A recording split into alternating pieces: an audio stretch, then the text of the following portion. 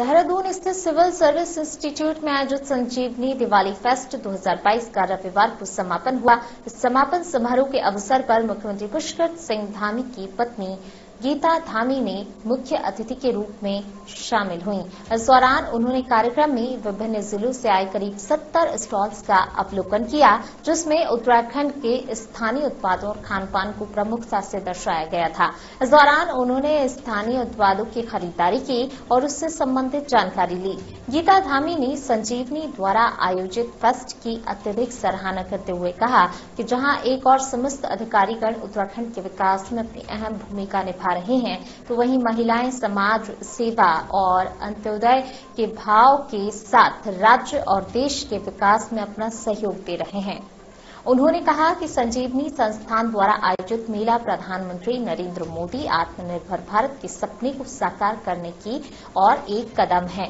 उन्होंने कहा, आज महिलाएँ आत्मनिर्भर बनकर स्वयं अपने परिवारों का भरण पोषण कर रही हैं। उन्होंने कहा कि राज्य सरकार द्वारा वन स्टेट टू प्रोडक्ट से भी स्थानीय उत्पादों को लगातार बढ़ावा मिल रहा है। बता दें कि हर साल की तरह इस साल भी संजीवनी दिवाली फेस्ट दो दिनों तक आयोजित हुआ। इस साल मेला वोकल फॉर लोकल आत्मनिर्भर भारत एवं महिला सशक्तिकरण पर केंद्रित रहा। इस दौरान राष्ट्रीय ग्रामीण आजीविका मिशन के अंतर्गत स्वयं सहायता समूह द्वारा निर्मित उत्पादों को स्टॉल्स के माध्यम से दिखाया गया, जिसमें पौड़ी ज़िले में बने मंडुए के बिस्किट्स, पहाड़ी फल जैसे माल्टा, संतरा जूस, घरों में निर्मित अचार, नैनीताल ज़िले के स्थानीय उत्पादों नगर क्षेत्र में निर्मित stole, shawl, muffler, sweater Uttarkashi में निर्मित पंखे, पूजा, आसन, पिथौरागढ़ ज़िले से एपट डिज़ाइन साड़ियाँ एवं तांबे के बर्तन जोशीमठ की राजमा पहाड़ी, अंजीर के उत्पाद, रिगाल के उत्पाद, हाथ से बनी मोमबत्ती, मिट्टी के बर्तन, दीपक, रिगाल के उत्पाद,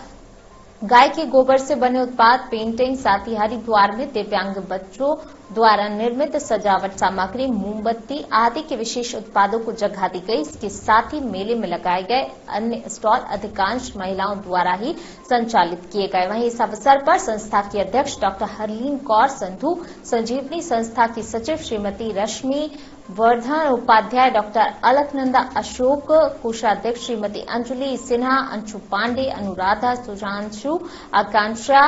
सिन्हा, मथानी, पैनई कुंजन यादव, हरिका राजेश, रजनी तोमर, शिखा पांडे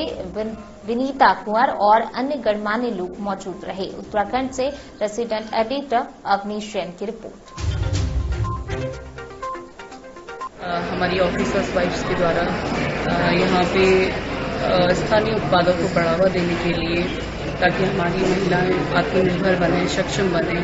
और उनके द्वारा जो हस्तशिल्प कलाएँ हैं, उनके द्वारा जो उत्पाद की गई वस्तुएँ हैं, सामग्रियाँ हैं यहाँ पे उनको एक प्लेटफॉर्म मिला है, बाज़ार मिला है और आज जो है हमारे वे समाज में अंतिम छोर में खड़े हुए वो व्यक्ति जो है लोग,